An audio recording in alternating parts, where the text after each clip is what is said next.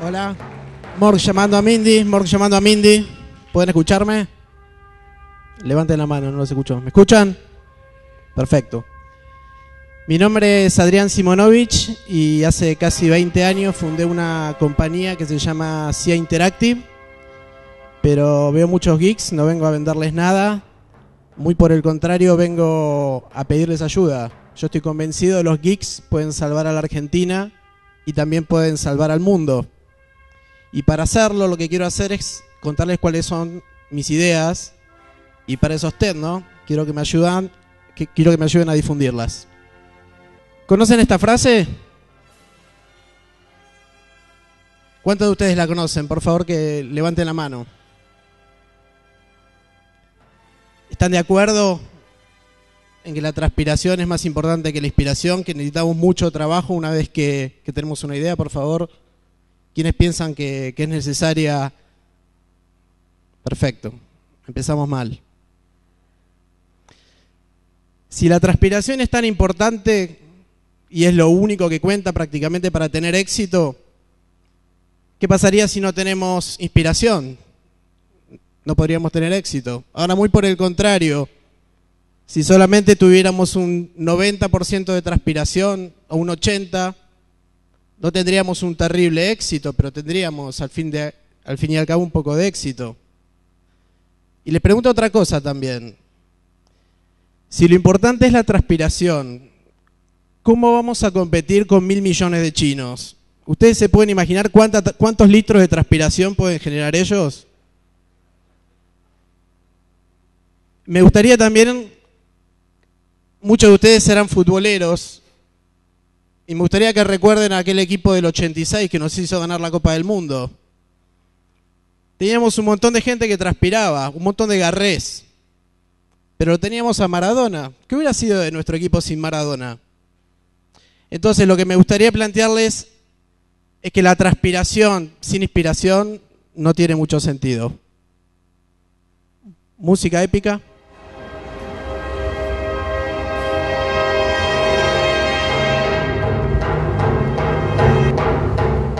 Cuando el mundo se creó, el mundo era un quilombo, era un desorden total.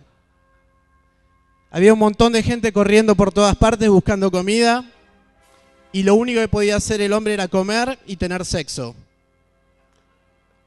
Los pelos empezaron a crecer y gran parte del tiempo la tenían que dedicar a rascarse los piojos.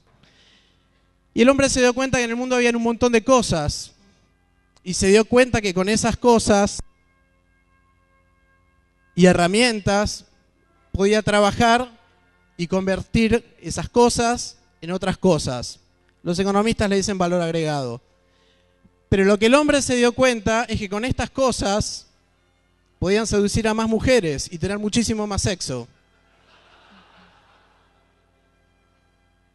¿Piensan que estoy equivocado?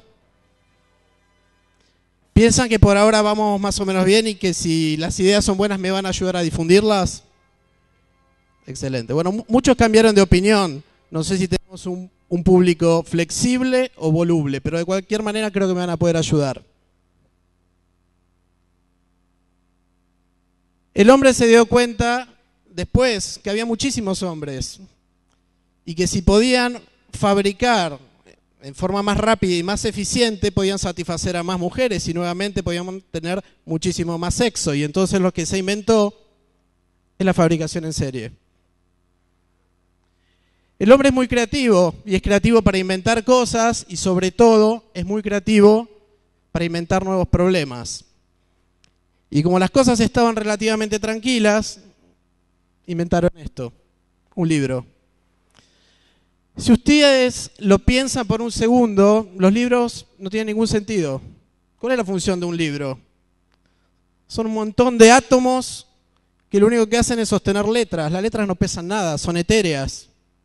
Pero acá nace el primer problema planteado por el hombre. Es más importante el contenido que el continente. O sea, el único sentido que tiene el libro es sostener letras que no piensan nada, pero que transmiten conocimiento e ideas. Y aquí nacieron los primeros artesanos, los artesanos que tenían la capacidad de escribir y hacer libros. Música épica.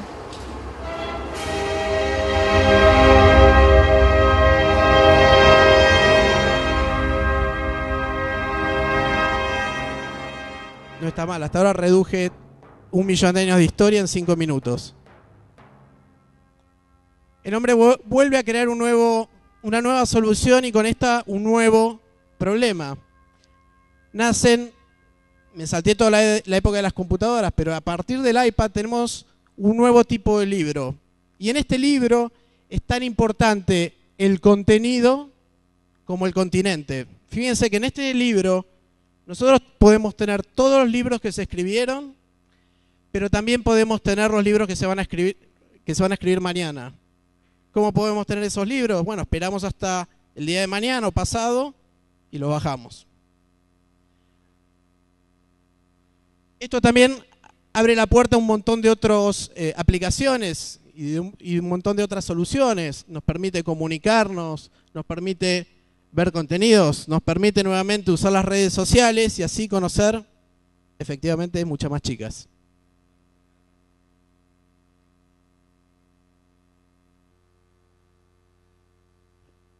El iPad y todo el mundo tecnológico abrió paso a un nuevo tipo de, personas, a un nuevo tipo de artesanos, que son los artesanos digitales. Si recuerdan el nombre de mi charla es Historias de Nerds. Y justamente quería contarles historias que me han tocado muy de cerca, porque son chicos que han trabajado conmigo. Entonces hoy en lugar de hablar de mi historia personal, como lo hice en otro viaje que vine a Nauquén, me gustaría hablarles de ellos. Ariel y Martín. Ariel es un artesano digital que se especializa en bits, en lo etéreo, en las ideas.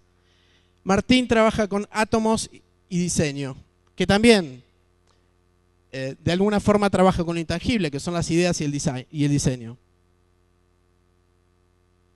Me parece muy importante que nos detengamos acá, porque hace un rato les dije que iban a necesitar su ayuda. Argentina en este momento tiene una tremenda oportunidad, y esa oportunidad es incursionar en el mundo de las tecnologías, y para eso lo que tenemos que fomentar es que más y más chicos se incluyan y elijan carreras técnicas. Vamos a comenzar con la historia de Ariel. En nuestra empresa hacemos videojuegos y Ariel comenzó haciendo música. Este fue el primer teclado.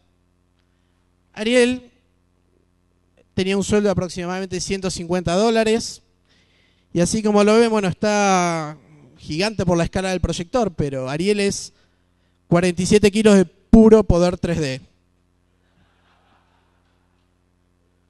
Como les contaba, Ariel empezó haciendo música. Eh, y esto es lo que tiene la tecnología. Mientras él hacía música, en algún momento, tanto él como nosotros descubrimos su capacidad para hacer software. Y en ese momento le cambiamos el teclado musical por un teclado informático. Lo primero que quiero decirles es, Ariel no es ningún genio. Tampoco tampoco es un, nerd eh, al estilo tradicional. Ariel es un chico que hacía música, tocaba en bar mitzvahs, en casamientos, en bautismos, y él pensaba que ese iba a ser su futuro. Él descubrió su capacidad para programar trabajando con nosotros, y cuando nosotros vimos su capacidad, no lo dejamos escapar. Este es el primer juego que hizo Ariel un juego flash, chato, tradicional. En general nosotros hacemos juegos para marcas. Este era para Rexona, sin hacer eh, publicidad. Cuando Ariel hizo este juego, él se, se obsesionó con esos arbolitos. ¿Ven esos arbolitos que están ahí? Son chatos. Y venían a la cámara en forma totalmente plana. No le gustó eso. Y empezó a hacer que esos arbolitos giren lentamente se obsesionó, esto fue en el año 2004. Y a partir de que él quiso resolver un problema, en forma autodidacta, él empezó a aprender más y más acerca de programación, él empezó a investigar cómo funcionan las tecnologías 3D. Y a partir de esto lo que hizo Ariel, que otra vez es un chico normal, un chico inteligente, pero digamos, eh, un chico absolutamente normal. Ariel lo que creó fue esto, algo que se llama Flare 3D, que es una plataforma que permite crear videojuegos 3D en forma muy sencilla. Para que esto pase, tuvieron que pasar dos cosas.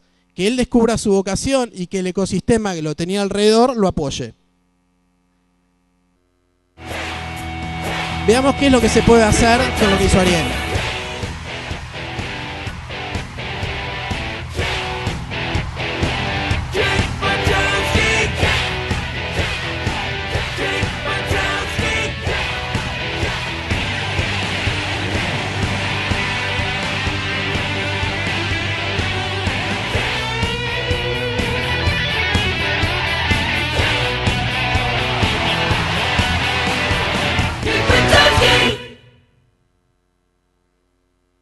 Bueno, lo que acaban de ver es un juego hecho con la herramienta que hizo Excel. Es como que, hizo Ariel. Es como que yo le dijera, vieron una planilla Excel.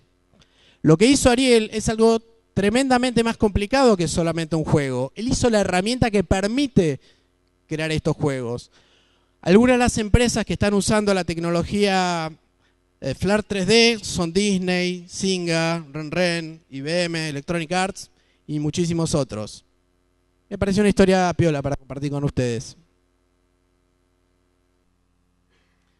Estos somos nosotros en, el Silicon Valley. Hace prácticamente un año estuvimos allí presentando Flair. Eh, y una cosa es contarlo, pero otra cosa es la emoción que nos produce viajar y contarle al mundo eh, una idea que fue concebida íntegramente acá en Argentina. Hoy por hoy tenemos eh, personas en más de 100 países que están usando esta tecnología y les repito, todo comenzó a partir de que un chico cambió un teclado musical por un teclado informático. Esta es la otra historia que les quería contar, que es la historia de, Martín. Martín es especialista en diseño y en átomos, o sea, en cosas, en tangibles. Como, lo, como cada uno de ustedes lo puede ver en el iPad, el diseño y las cosas también tienen sentido. No es solamente todo abstracto e inmaterial. Y lo que hace Martín es justamente concebir estos nuevos productos para la era digital, que en muchos casos son eh, productos boutique. Vamos a ver qué pasa cuando los geeks se juntan en un círculo eh, virtuoso. ¿Qué pasa si Martín diseña un joystick, agarramos un hotel y usamos el 3D hecho por Ariel?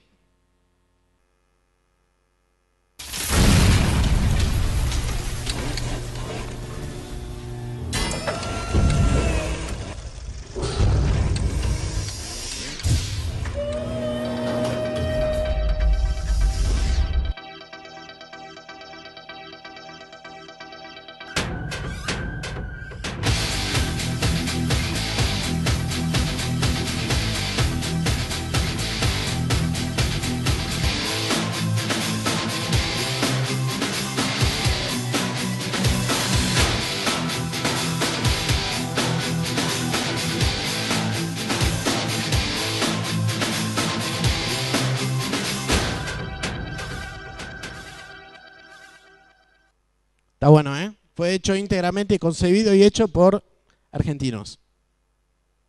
Si les gustó, aplaudan, por favor.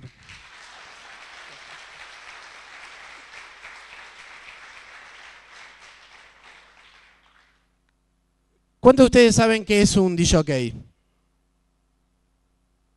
Ahora, ¿cuántos de ustedes saben quién es Tiesto? ¿Cuántos saben quién es Carl Cox? ¿Cuántos saben quién es Hernán Catáneo? A todos los que levantaron la mano les voy a pedir una cosa. Les voy a dar 30 segundos para que le cuenten a todos los veteranos que tienen alrededor qué es un DJ y quiénes son estas personas. Mientras tanto, les voy a dar un show.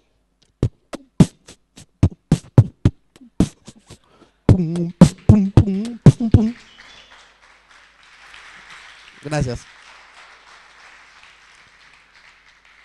Eso fue una, una tontera fuera de libreto. Pero quiero mostrarles nuevamente un producto boutique que es la resultante de varios geeks trabajando en forma conjunta. ¿Qué pasa si juntamos una expendedora de bebidas con una pantalla?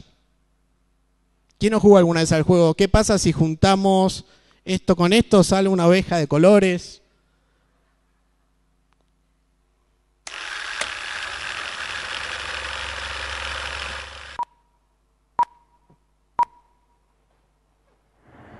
Hola, mi nombre es Martín Rostenberg, soy y participé en el equipo que creó la vending. Eh, espero que la estén disfrutando.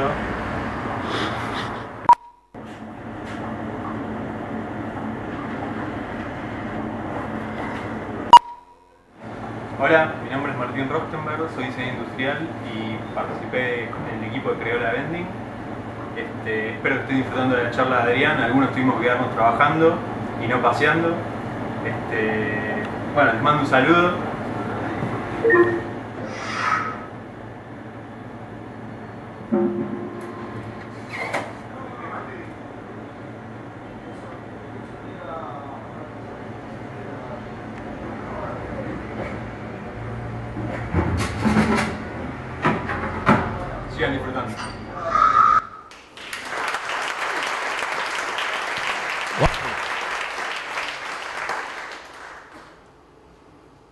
Muchos de ustedes podrán pensar que Martín es un, trabaja en un ambiente sucio, digamos, rodeado de grasa y de metales. No, Martín diseña todo con sistemas de CAD y los prototipos se hacen con una impresora 3D que permite fabricar prototipos y lo que es más importante aún, exportar estas creaciones como lo estamos haciendo al mundo y fabricarlas localmente. Disculpen, pero algún gráfico tenía que haber acá. Este gráfico representa un poquito lo que es nuestra industria actual. Hay aproximadamente 70.000 personas empleadas en el área de software y tecnología. Y como verán, el, ese redondel es rojo porque hay un área de tensión. La industria demanda mucha más gente de la que hoy eh, estamos eh, ocupando.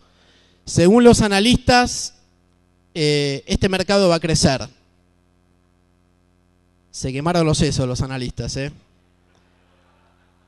Mi mamá, que es una mame, hace 30 años, mientras cocinaba gefilte fish, me dijo, Adrián, dedícate a la tecnología porque ahí está el futuro.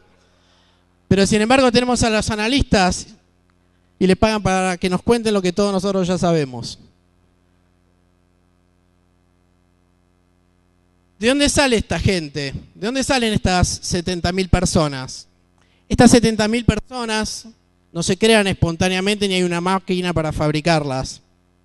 Salen de universidades, de tecnicaturas, de secundarios y muchos son autodidactas. Que está buenísimo que haya autodidactas, pero no podemos confiar en ellos. Pueden que salgan, pueden que no salgan. Y ahí es donde yo preciso la ayuda de todos ustedes. Necesitamos contarle a los chicos que se pueden dedicar a la tecnología y que está buenísimo. Necesitamos mucha más gente. Cuando yo los conocí, tanto Ariel como, ups, como Martín, trabajaban acá adentro. O sea, trabajaban en una industria que lo que hacía era satisfacer la demanda de las empresas existentes. En otras palabras, un embole. Los chicos hacían lo que les pedíamos que había que hacer. ¿A quién en su sano juicio se le hubiera ocurrido decir hagan un motor 3D o hagan una, una vending con una pantalla? A nadie. Porque la demanda suele ser bastante aburrida. Entonces, creo que lo que nosotros necesitamos son muchísimos más chicos trabajando en tecnología para sobrepasar la demanda y seguramente estos chicos van a crear nuevos productos que van a crear nuevas demandas. Y creo que ahí está nuestra gran oportunidad. Si esto pasa y ustedes me ayudan, seguramente lo que va a resultar de esto va a ser algo bueno. Dudo que pase algo malo. Otra vez volvemos al principio. 1% de inspiración y 99% de transpiración. Después de haber escuchado parte de esta charla, ¿quiénes pueden decir que estos números no reflejan la verdad? ¿Quiénes pueden decirme ahora mismo que es muy importante inspirar y motivar a los chicos? Si pueden levantar la mano, por favor. Gracias. Fueron unos cuantos.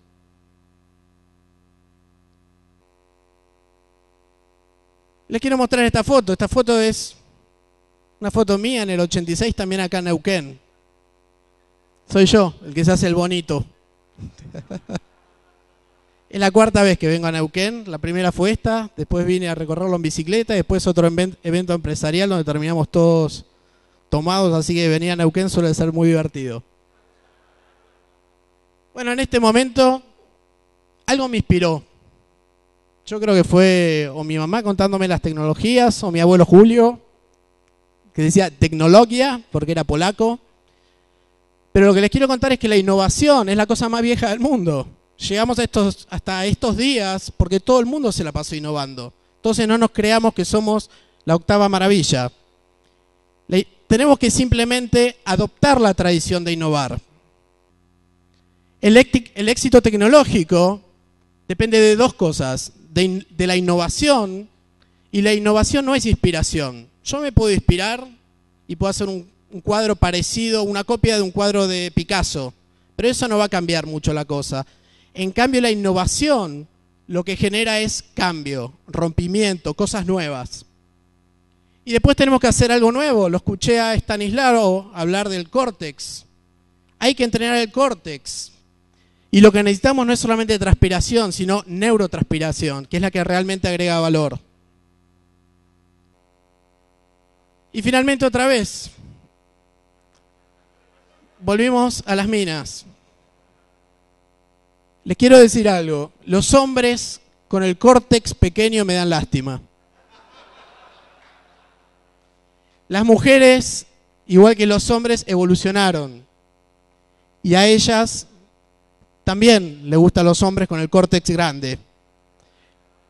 Chicos, no hay que ser un nerd. De hecho, no sean nerds, estudien carreras tecnológicas. Hay una gran oportunidad, no la desaprovechemos. Gracias.